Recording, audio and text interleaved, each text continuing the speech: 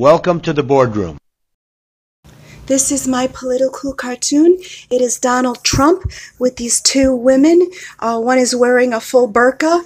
Uh, the other one is wearing like this fetish latex burqa, whole cover. The eyes have just holes in them, and the nose has holes in them. He's saying America is committed to um, exposing the terrorists of the false allure of their evil ideology and uh, the woman is saying, You like exotic, Donald? And there's this little ghost baby in the corner. And uh, Donald Trump, that's his Afghanistan speech he did a few days ago, uh, where he says that. And you can look it up New York Times, full transcript and video, Trump's speech on Afghanistan. You can look that up. And also on YouTube, you can, you can look it up. His Afghanistan uh, speech addresses the nation. It was a beautiful, beautiful speech. And towards the end is where he says that quote.